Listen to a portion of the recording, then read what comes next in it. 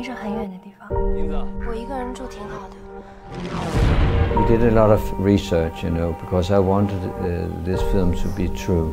I wanted the, the environment, the, the place, the, the houses, and the uh, all, yeah, all, all, all the places to be as, as honest and true as possible.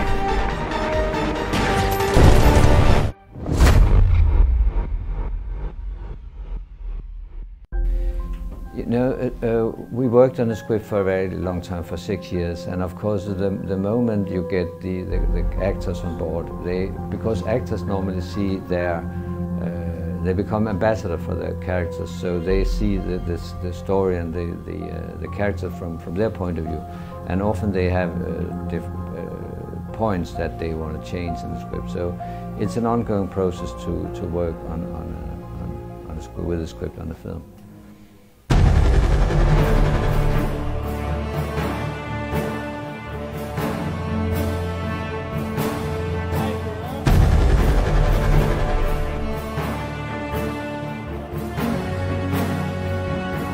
Think for me, eh, uh, nature has always been very important, and, and, and human beings in nature.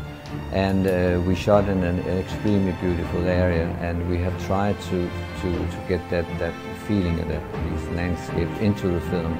So we spend a lot of time trying to find the right moment of, of the day and placing the, uh, the, the characters in, in the landscape. But beautiful, beautiful.